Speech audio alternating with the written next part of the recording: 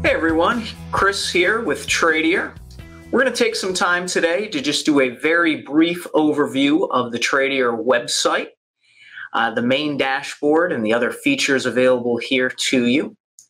Once you log in, and keep in mind you will log in using two-factor authentication either by text message or by email. Within the dashboard, you will see that you have a trade ticket at the top.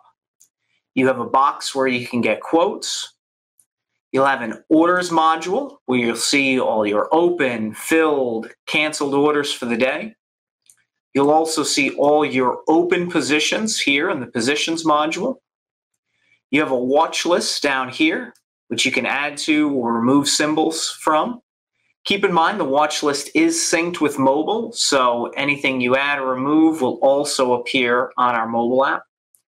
And then you have a module that just gives you a snapshot of the markets right here.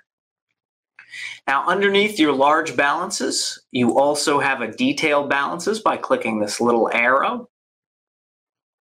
You can also access the other pages on the website, including research, chains, gain loss.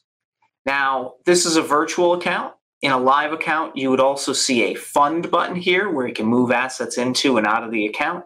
And you would also see an activity tab at the top. There's a button for the settings page right here that looks like a gear. And also clicking your name will bring up another menu where you can do a few other things, including signing out of the account. That was a brief overview of the Tradier web platform.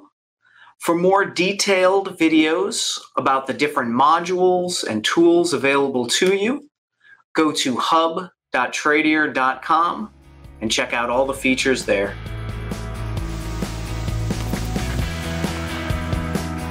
Thanks for watching. Please be sure to take some time to read the disclaimer. Thank you.